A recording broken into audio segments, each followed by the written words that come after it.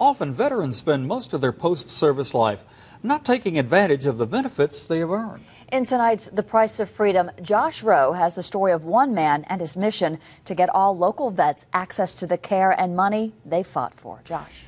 Kim and Calvin, the list of reasons for veterans not taking advantage of their benefits is long. Some say they don't need them, but many others either don't know what they're entitled to or don't know how to access them. You can learn a lot. We was crossing the DMZ coming back from from North Vietnam. Just by listening to Larry Hester for a while. The Agent Orange killed more people than the war did. A walking, talking history lesson. He was at Iwo Jima, supposedly the worst battle the Marine Corps ever fought. He was at Chosin Reservoir. He said Chosin was a lot worse. And a heart for helping veterans. I don't care who it is. If you're a veteran, I'm going to help them. If you're if you're not going to help a veteran, I ain't got no time to waste with you. It's just that simple. Larry fought in Vietnam. How long were you there? 11 months, 20 days. He came back and drove a truck most of his life until a wreck ended that career and started this one.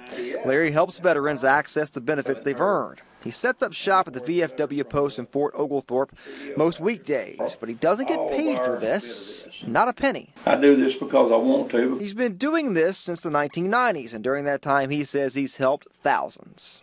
Just verbally helped and and help like this probably 10,000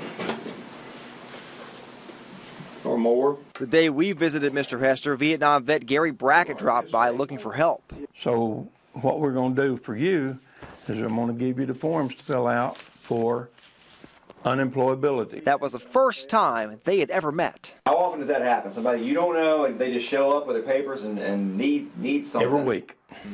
Every week. And you've seen his hat. He's a Vietnam veteran. Mm-hmm. And he still didn't know all of his benefits. Larry hopes that this is a lesson to service members coming home from combat now. Learn what your benefits are and keep good records. And if you need help, call the VFW in Fort Oglethorpe.